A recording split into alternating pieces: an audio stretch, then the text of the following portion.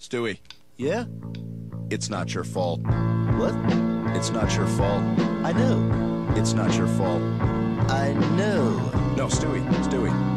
It's not your fault. Don't do this to me, man. Not you, man. It's not your fault. Screw you. Cut it out, man. It's not your fault. Ah.